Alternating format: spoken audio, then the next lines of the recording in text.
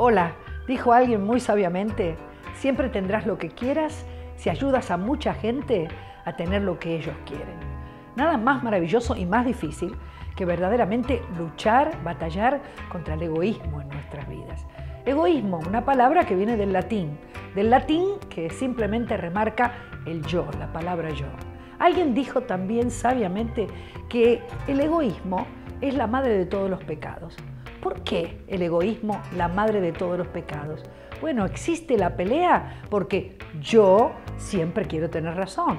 ¿eh? Existe el orgullo porque yo soy mejor que los demás. Existe la mentira porque yo quiero quedar bien, no quiero quedar mal con la gente y por eso miento. Sí, existe la envidia porque yo también me merezco tener lo que ella tiene. ¿Te das cuenta lo importante que es para nosotros, todos nosotros, sacarnos la careta y preguntarnos frente al espejo del Espíritu Santo, ¿será que ah, tengo un poquito de egoísmo en mi vida?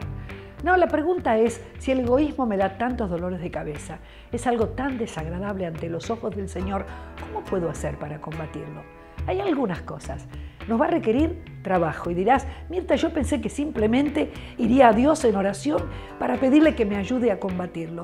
Es cierto, el Espíritu Santo está allí para ayudarte a combatirlo, pero tú tendrás que hacer la parte que te corresponde. Entonces, si tanto tú como yo somos lo suficientemente honestos como para decir, mm, voy a combatir un poquitito ese egoísmo que a veces surge y aparece en mi vida. ¿Cómo puedo hacerlo? Simplemente, en primer lugar, debo reconocerlo. Esa es la parte más difícil. Y una vez que lo he reconocido, ah, la segunda cosa importante es alegrarte con el bien, con el éxito, con el progreso y los logros de los demás. Eso es muy importante.